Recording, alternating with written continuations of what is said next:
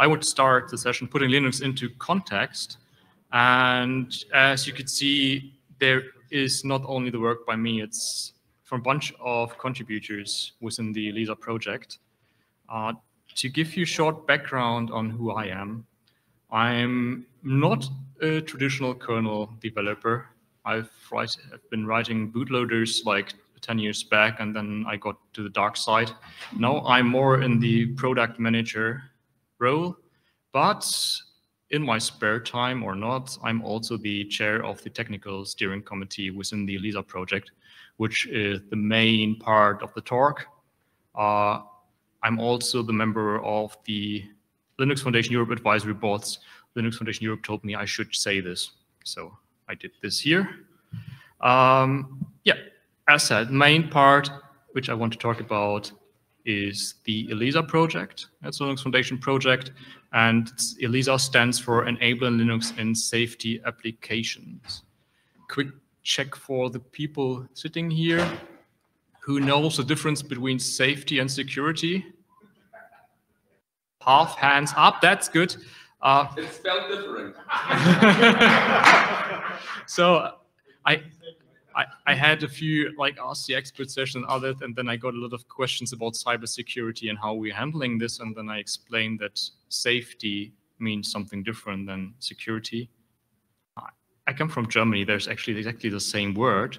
That's why we often say cybersecurity and functional safety. Functional safety means uh, causing risk to human life and avoiding this risk. So this means not, basically I'm fine if someone intrudes in my system as long as my function remains operating, which typically will not do anymore. But if I can even see that something goes wrong, it may be a chance that this is safe. So there's an overlaps in safety and security.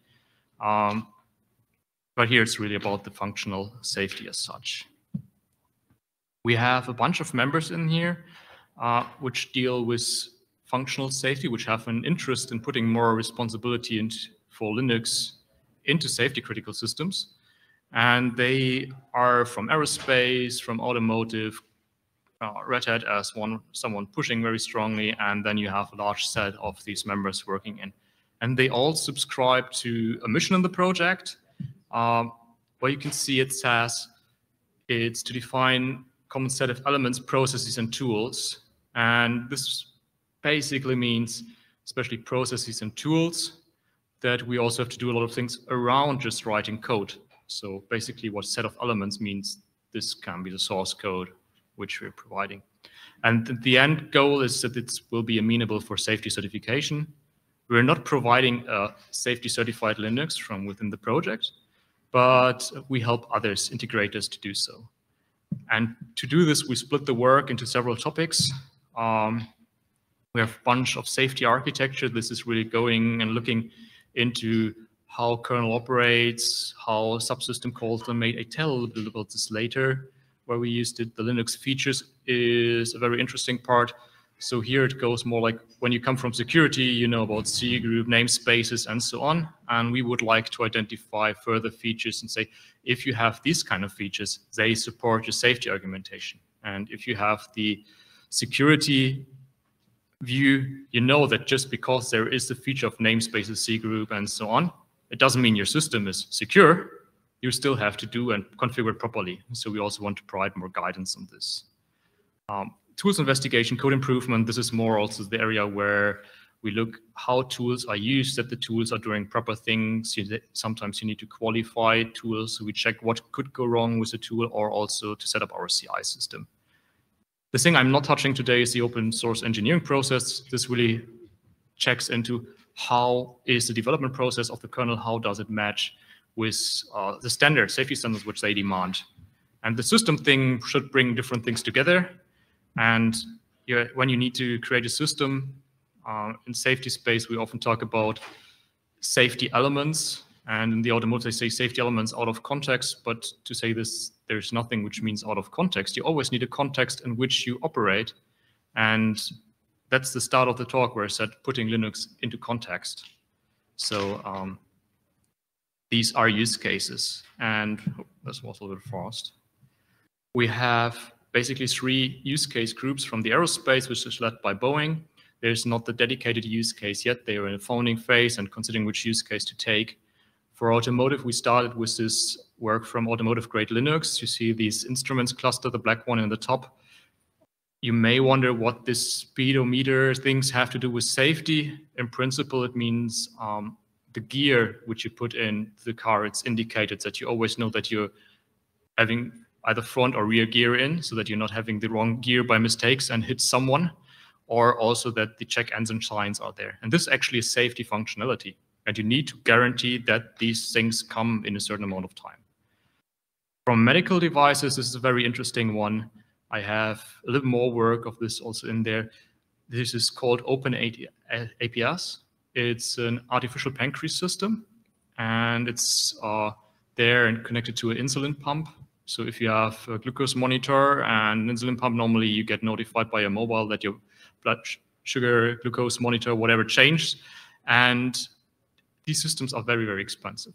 So out of the demand and need, uh, Dana M. Lewis, you can check for the name and some TED Talks, very impressive.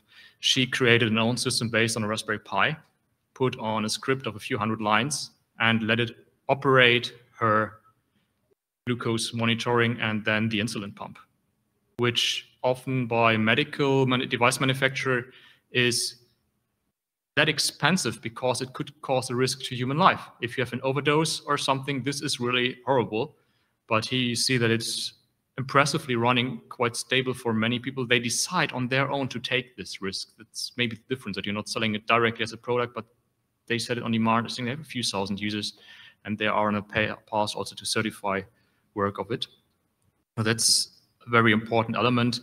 And um, these two examples are more pure Linux system as of now, but there's more work where system complexity increase. And some challenges are, also let me see where it goes.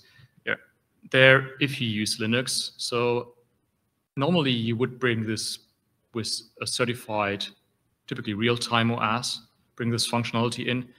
And now it's more used for Linux. And why is there the question for Linux and asking to use Linux? So some may say it's cost savings because if you pay, pay for a commercial S, uh, you want to save some money, but there's also demand of having more features in. So you know about autonomous driving, you have very complex many core computing systems, and at a certain point of time, these certified systems don't scale anymore. You don't find proper libraries. You cannot look into this source code because it's typically closed source binaries.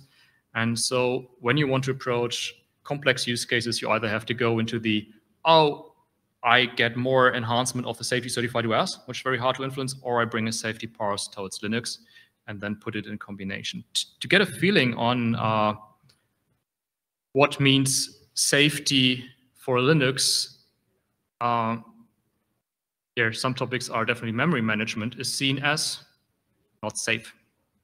Dynamic memory allocation, not safe. Caches, not safe. safe. Interrupt handling, also not safe. Real-time scheduling, well, we doing progresses there, but if you talk to the safety guys, sometimes they would also say uh, Zephyr is not an RTOS and it's not real time because real time is really when just do bare metal.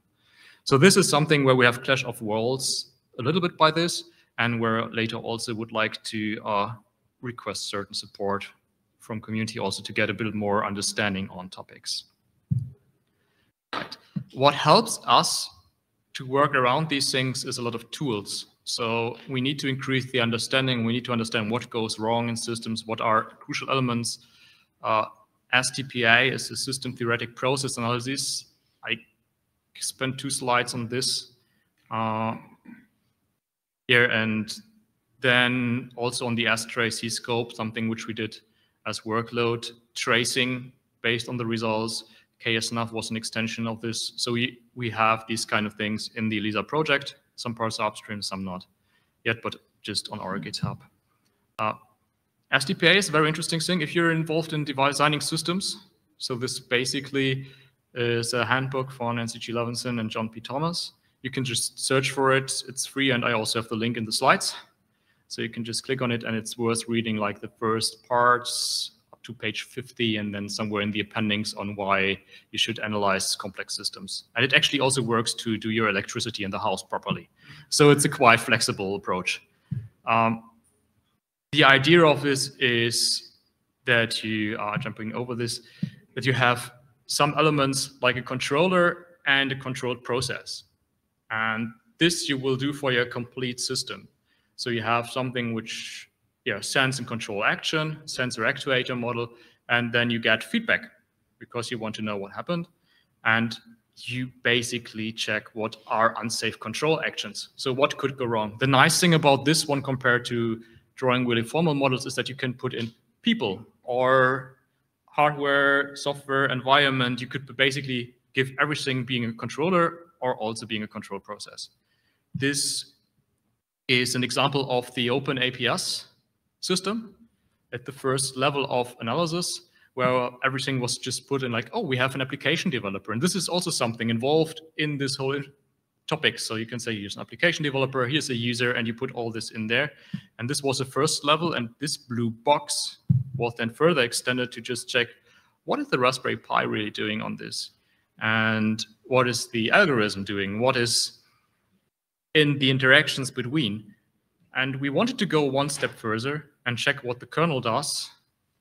And we failed, basically. So it's getting very, very complex to just use this analysis without any usage of further tools. And here uh, we came up with the workload tracing with work from Shuah and Shefali. She did a, they both did a lot of work on this. They mainly used strace and cscope. And what we extracted was what are relevant system calls for this workload. So when OpenAPS system is in operation, what can happen, which calls are there, uh, how often are they called, why are they called, and this also, yes, I do have it on next slide. Yeah, this is something which later on in general case was upstreamed also, so you find it now in the admin guide, and it's also the place where we plan to have more things uploaded in the coming years and work we have. So we see that there's a lot of things still open. Other updates are also in the field of man pages because we see there's a not always a matching implementation to what we see in, see in the man pages. This will also help to improve safety quality. And um, for workload tracing, as said, this is mainly on of seeing what's running, but we also sometimes want to see what is left and right, what could be called, but maybe was not called by the workload. And for this, there was work from uh, Alessandro and Maurizio, I guess, yeah, I hope at both. Alessandro and Maurizio at the beginning, at the end. Um, this is something which we haven't upstream yet. We were wondering if it makes sense to put it somewhere. Basically, it's a tool which can be used to do a static analysis of your kernel configuration, and then you get incredible call trees sometimes, which you need to narrow down to what is important for you, but you can really get a feeling on what do I need of a kernel, what do I don't need? Because if you are in safety critical system, you need to strip down things really to the detail of what is needed. So um, I made it bold. Is there a good place to upstream? Maybe we can discuss later if there's a view in the audience. Uh, and this was one thing where we had some upstream, but we also came up with further topics. So uh, if you have a use case, this brings different ideas on what to focus on, what is important to look at. There are also some topics which may be independent of the use case, which every use case shares. So um, something which we recently started to discuss if there is a core of a kernel. And this could be in this what's in the orange box, like synchronization, timing, interrupt, exception handling, resource management, memory allocation. Basically, a lot of things which you have also seen in what is considered as not safe by the safety community. But also additions like initialization parts, how does a bootloader place into the game? So we haven't, we had this, this talk yesterday morning from TI where also the bootloader was really brought into the topic of safety. So this is something which we haven't touched yet. What we touched was work on preempt RT and real-time analysis toolings. So this is something where we are also still working in, where we want to progress. Uh, all the results should be upstream documentation part at the end. and it should help integrators, people who build system, that you get a better system understanding. And I hope it's also helpful for others, not only in the safety environment. Uh, here is something which I just saw. It says add link to their presentation here. I missed this in my review. So uh, on the uploaded version, you have the link to the presentation which Shuah and Alana gave during the years this year. It gives you an hour overview on basically things they have analyzed, how to use preempt RT, how to configure things, how to do analysis of workloads which you have. And this is the base where it should start on getting more upstreamed. And there was a request also by Alana as a workgroup lead. She said, if, if you're there, promote that we still look for people who are really using it in practice, who are experts also, that rewrite the proper documentation on it. So it's always good to have more than two eyes or four eyes in there. And yeah, if, if you look also in the admin guide, you see currently there is nothing for preempt RT as really something in user admin guide. Okay, uh, yeah, real time is something which you find in many different systems actually. And this is now also the part of this really system creation. So you can see that I put different scale of use cases. So the most simple one would be our maybe a, a lawnmower or also your vacuum cleaner at home, which actually involves due to app functionality, due to getting cameras involved, due to having sensor data. It's not really a safety use case if it's not hunting your hamster or something like this. But uh, it combines already multi-chip, multi-core processors with microcontrollers with certain real-time capabilities. And basically it's not too much different if you see a vacuum cleaner lawnmower from something going out in the field in agriculture because they also have like a square which they clean and there may be obstacles in there in a controlled environment or a mining vehicle operating somewhere in a larger site. And this is also the fundamental principle of an autonomous driving car because in the end your vacuum cleaner is an autonomous driving vehicle just on a smaller scale. And these architectures are very similar. And this is also what we, uh, with it going that fast Yeah. what we saw with other communities. So um, when we discussed about the systems work group, it, the idea was basically to have an industrial work group first. And it was not an industry use case as such. When talking to the Xen people, to Zephyr, especially with Xen, we figured out, oh, there is a similar strategy currently from Stefano Stabellini. So he was presenting something last year that's in June timeframe in Boston, I guess Yeah, on the Open Source Summit. Uh, he also created a reference system, so I have the slides later on, just the information for it, which exactly is a similar setup which we used here for our reproduction. And also checking then with, especially I come from automotive, that's why you'll see the automotive examples in there. With AGL, SOAFEE, SDV, they have quite comparable architectures with complexity of having heterogeneous systems and not only Linux in there. And this was a strong concern for us uh, because our work groups within ELISA mainly concentrate on Linux, and there's a strong risk of forgetting what's left and right of it. And that's why we said it's good to have a real system set up, share the ideas to get a better outreach and see which other communities also share the same problem. to give you an idea, I took a screenshot from the SOAFEE architecture version.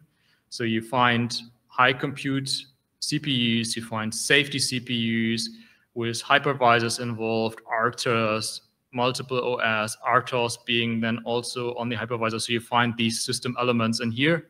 And in a little bit smaller scale, uh, we figured out, well, let's try to build one of these things. And this is basically the story which we had with Stefano. He also said, the people are listening to my talk since years but it's very hard for them to reproduce whatever I've done. So this year, and it was last year, I will present how to reproduce the system. So that's what he did with a static partition and he actually had Xen Linux RT and Zephyr in the system, and this is where we also based our work on. But uh, yeah, the presentation he gave was mainly concentrating on what can be done with Xen and was less on uh, really like a creating a complete system. He just grabbed uh, a Yocto PetaLinux, whatever they had from where you could find an image. And for Zephyr, he also just said, like, I don't care, I just get an image. I concentrate on the Xen work. And we said, okay, we want to have the full flow. So we want to build the a Yocto Linux, a Debian Linux. We want to have Zephyr built, and it should be all reproducible that someone can take it up. And it should run on real hardware because uh, the work was on QEMU with Stefan. It was quite clever in doing so. Um, because when you look into real hardware, you typically end up with a bunch of challenges. So you saw that we have some graphics involvement. Uh, this was actually the killer point which we had at the end for our systems which we looked at. This was proprietary GPU drivers, and we wanted to share them with a CI build with the community so that everybody can download. We failed. And other parts was also, well, you need to have good support when you have embedded hardware, how to get things on. Is there actually community support available? Um, if you have sometimes community support, it may be tools where you rely on which are not in a very healthy state. So better look for which project to utilize. Uh, what do you do with the images, proper handling of it? Is it safe to just upload them somewhere, which OS distro to choose, and then at the end, uh, we're still on the way on it, create a full SBOM on it because we want to make sure that the license are used properly and we want to know what's in the system, why it's in there, and which version. Right. Uh, here I give a big thanks to Thomas and to Sudip because they are the two people which mainly create the system and playing force and back currently. So Thomas typically does the prototyping. He set the things together. He write the guide, and then uh, Sudip picks it up and tries to understand what Thomas does. And by this, we get a documentation for the things. And Thomas is doing it on real world, and Sudip brings it into the CI. So what we found as major challenges during setting up such Xen system was how to get a good hardware support for Xen. Not every board is supported in the same way. Uh, is there documentation there? Do we have license compliance? Then another thing, which Yocto to use, because Xen comes with a PetaLinux Yocto, but there's also the Yocto Yocto or Yocto Poky part with the uh, meta virtualization layer. So this is something then uh, how much resources you use. Yocto has shared resources, but this turned out to be some issues for parts of the community, which said, well, yeah, I would like to do a build, but it's just taking too much time because my power, my PC is not strong enough. Or they said, uh, well, I have the computation performance, but I don't have disk space anymore. So these kind of things, then, uh, yeah, this was all elements which we had during, from a software perspective of finding a starting point. we also. Uh, we also check different targets. So we uh, start with the Renesas R-Car because we know there's good support for Xen in there. We also have the Xilinx in there because there's good Xen support. Uh, the Renesas hardware was also in the AGL as a reference hardware. Xilinx was discontinued, but was basically also in. So but I said we had issues with proprietary graphics. So there you can have a click-through license for the normal drivers, but if you go for virtualization, virtualized drivers, you get on thin ice. So we said, oh, let's take the Xilinx one. We get a good start, and then we figured out the hardware which we use does not support proper graphics hardware virtualization. So we can do software rendering and so on, but that's nothing which we wanted to have as features. Right, then uh, we checked other options. So we went with QEMU, but QEMU performance is a bit slower. You don't have all the devices. Graphics rendering is even more slow. Uh, still a very good option. So I always recommend to have also QEMU setups. The Raspberry Pi we considered because it's more community hardware, a little bit cheaper. But uh, if you want to go deeper and have a real use case, you may want to go for system MMU levels. You want to make sure that you can really partition things. We had a short look at the i.MX8 system. They were looking quite good overall, but uh, they were, from regarding Xen, had less more community support and were also not that available at the time when we started looking at it. So we ended up with the XU hardware and uh, brought things then into an example system. This is actually quite small also from my side, but um, you can see on the blue boxes what are elements from different BSP perspectives. So we had parts where we used the uh, Xilinx Yocto directly because it was not all available in plain Yocto Poky. Uh, we, you see Apertis build. This is something which is an embedded industrial Debian derivative. Um, it's basically in there because it's something which we have in Bosch together with Collabora. And Thomas, who does the system, uh, knows by heart since many years how to do Debian distros and images. So that's why you also have Apertis support there. Interesting to see us that due to the um, the, Zephyr part, we could directly take one-on-one -on -one from the R-Car. So this was something very nice to see because it's a plain Zephyr. It runs on top of Xen, and it just is there for the Cortex-A support. So you just take the image as such, and it does what it should. So this was quite nice to see. Uh, yeah, and there was also just the alternative to just take a PetaLinux. We are now in the process of getting it plain Yocto Poky to get independent of the Xilinx work and have a more direct relationship. Then you need to attach a lot of devices and so on. And I'm not sure if I left this in the presentation, but there's a bunch of example configurations, a lot of links to click through so that you really can see. Oh yeah, here it comes. So everything, I use this as a kind of documentation. You will find what are the sources, how we created the image. If you are on the GitHub page, you also see the guidelines how to set up a such a system and where you find everything. So we use this as a pre-stage for documentation before we have everything in GitHub. Right. Uh, on that said, it should also end up in a CI. So we already have set up a GitLab CI. And in this, uh, we split jobs for having the build and then the packaging of it. And it runs on a daily base. What you may see on the right, we have artifacts for download, but we only have the latest artifact available, the latest images. Sometimes you see two days, but the idea is that if you came across development, at least I had it when I went somewhere and said, oh, can you show me? I have an issue. Oh, where does the issue come from? Yeah, it's in this area. So what build are you using? I, I use this build. I said, oh, that's a few few weeks old. Oh, but I modified a lot of things on it. So this is something which you see. And we said, you always get this latest one. If we end up with an issue, let's make sure we are running in the same environment. We have a reproducible setup, and that's why you don't find last downloads. And this also means if someone implements a feature, it gets into the CI, and you will the next day have the latest setup on it, and only the latest one. Uh, it's kept longer if it breaks, so it broke two or three times already, not in the systems workgroup, but in the other setups, typically due to the CAN controller. So there was CAN stack changes, there were certificates expiring, and so on. This was really important to see that we had a booting system and also QA checks at the end and have a full flow. And this is something which I guess come from that slide. Yeah, this was a step which we said we came from Meta ELISA. This is our automotive use case. And we wanted to have an environment where everybody can start at the place where the person would like to start. So you can say, I really would like to see the starting point from just following guidelines. You read through it.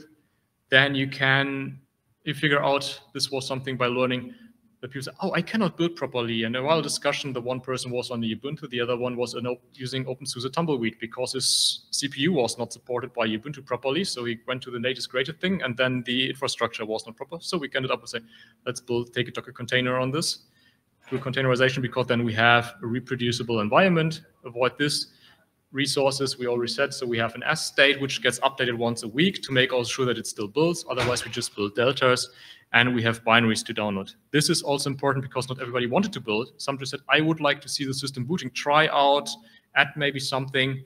And uh, by this, we have multiple entry points where you can just get in. This is all in a fully dependency flow, which means whenever the documentation change, the Docker file will pull the new Meta ELISA layer, creates the image, and the actual Docker image, which you will download for your development, is also the image which the GitLab takes. And the generated QEMU image you will, can also download, and exactly this image is also taken by the OpenQA for testing.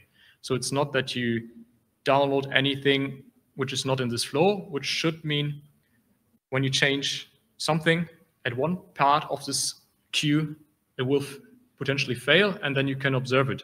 The idea is that uh, if someone takes it up like starting with a QEMU image, it shouldn't be the point that the QEMU image still works while the documentation of the meta ELISA is no longer matching. So it should be fully dependable and rely on each other that you can identify last worst case with a failing test case that it's caused because of changing in the meta ELISA or somewhere in between. So you get a fully dependable flow on this. Or does it running like fast? Yeah, you have the motivation and full description in our blog post on this.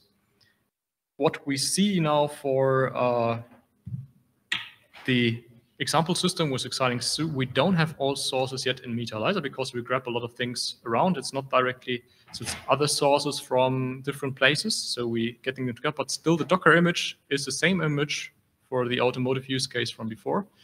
And the one which is built here, we also have a generated image. And what we currently miss is the testing because uh, yeah, there are certain features which are not that easy. I said that there's no full graphics support. The OpenQA relies on graphics. And then also the cost is 3.5K, I guess, for Xilinx Zoo board. So it's very, it's very, very expensive. So we look for alternative hardware. We're currently considering to have the QEMU next to it because one really brilliant thing is that the Xilinx implementation is very close to hardware. So you miss, of course, some devices will not be an I2C bus, which you can check, or certain SD card for the peripherals also. But the whole setup of the Xilinx 2 part is reproducible. So basically the images which you produce for the real hardware also run in QEMU. It gives a few errors if you have a improper configuration because not all interfaces are there. But in this way, in next step, we will be able to have also our images tested with QEMU. Uh, still, we would like to get more diversity in. I think it's on the, yeah. what the intention was of this system composition is also should be reproducible. We're on a good way on it. But if we have reached this reproducibility, I'm pretty sure someone said, but I'm not using Zephyr. I'm using FreeRTOS. Oh, I would like to go with another hypervisor. Or someone says, I'm not a Yocto guy, I'm more a Debian person, or the other way around. And we would like to have at least always one alternative. And the idea behind is if you have an alternative, you really figure out what is the interface between the different systems. So how do I'm interacting with Linux? What makes a differentiating part? What are commonalities if I change from Zephyr to FreeRTOS? If I take Xen and KVM or Jailhouse or whatever I have. And also for hardware, we know that some things behave quite strange if you go for Yocto. You know, if you have one Yocto build for, say, uh, oh, we have TI here. So if we have a TI Yocto, it most likely does not behave exactly the same way like the NXP Yocto. Maybe due to versions, modification or something. So we said, let's take also two hardware versions in there. And if we are really able to just create variations of these hardware, you can start to learn how do I design my own system. And this is the one side, so everybody can learn which systems get in. The second side on this is we want to bring in the functionality. So if we now have our preempt RT work done and have certain configuration there. If we update kernel configurations, we all bring this in the reference system so that you can experience also results from our analysis, which we've done in the workgroup. For this, uh, need to change the order. So I put a little bit of overview on uh, topics where we are working on and where we could also just need a little bit more of support. So I showed you the workload tracing. This worked well. We have this upstream Still, um, the scripting is on a Raspbian. Uh, we don't have an SBOM on this, so we have still a lot of work to do. So it would be quite interesting if there's someone who is willing and say, oh, I have experience. For me, it's just straightforward to just bring this workload thing up and get a Yocto build for the Raspberry Pi or for an alternative hardware and run this workload from the medical devices on it. So this would be very helpful. Uh, for preempt RT, I mentioned it already. We had good discussions also, uh, also with Daniel Bristot, who was supporting us, giving us some information, uh, Linutronix people telling us more about RT, preempt RT. but to have also user perspective in there and help to get the upstream documentation, this would be really nice. And my original starting point, basically, from this system here, if you say, oh, that's my favorite hypervisor and this is well supported, or I know this virtualization brings graphics support with this hardware, or this is a really good supported community board. This is something which I would love to hear. Then we create it more and get another run on this on our CI system so that you can download things. And then the last part of this was uh, like more on this core components to get more technical deep dives. They were very useful for us. Um, we also did deep dives, for example, on the watchdog subsystem, and we figured out that the standard watchdog in the Linux kernel has a one second granularity. We would definitely need to go down for a 10 milliseconds to 100 milliseconds granularity for watchdog if we target automotive use cases. Well, this is some discussion which we had like two years back, uh, and may need to continue on it again to just see how how does it fit but at the point when we started, we were saw that we break interfaces from the existing watchdog. And by this, we would need to end up with a new discussion, how to not break the interfaces. And do we see someone who already said there's a good value in it before we just upstream something so tremendously? Right. Uh, and this part would end up with kernel patches, documentation in the admin guide man pages. Some part may end up in our GitHub repo if it doesn't make sense to have it directly in kernel. And what we bring from the ELISA project is really that we have a bunch of people which have strong expertise in safety and systems engineering, and they are good in analyzing these things, asking the proper questions, and get a good understanding how things should operate. But they are not kernel developers in the first role, and there it's really good to find this exchange, bridge a little bit, enable the conversation on it. So this is uh, where we would like to get more support also a little bit where there's willingness. It can be just starting smaller sessions or so, uh, giving a kind of seminar, webinar with something which we did in the past and that we have more and have a pause for more upstreaming. And I believe that this will be very valuable also for a lot of other work which is uh, going on because in the end this makes the whole kernel more robust, more reliable, dependable, independent of later use and safety. So it's just like higher quality to already high quality environment. And by this, I conclude. Any questions? Get a catch box. I think there's one over there. I don't know if the one which is following people.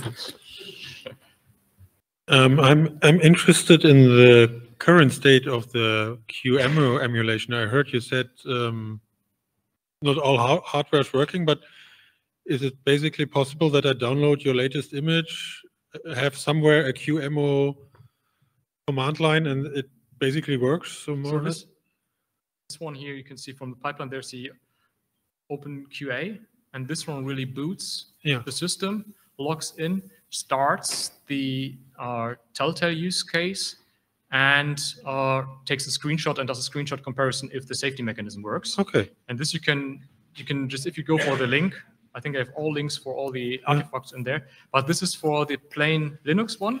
That's good. And we have this one in plan. So this is just the work where okay. this week, next week, this is go on to have it also for this other system uh, with Xilinx hardware, but then you will not have a graphical interface, but you can log in. So the okay, task cool. case will go up to cool. here's a QEMU image, it boots, you can log in. And is there work ongoing, like uh, extending QEMU to support more hardware, or are you mainly focusing on getting real hardware? We want to focus a little bit on getting real hardware. So uh, we had some use case because we know that peripherals will be used, like USB, other. There are interfaces. But we said we would try to find a more community-friendly hardware. Yeah. Because especially if you go for industry, they use QEMU for testing, but they typically don't want to see it. And we want to get it a little bit more close to reality, seeing industry adopting it. And by this, we were looking for mm. hardware and putting it in a fancy looking case that it doesn't sure, look sure, like sure. in Raspberry Pi. uh, but may, I'm very interested in your image. Thank you. That's cool.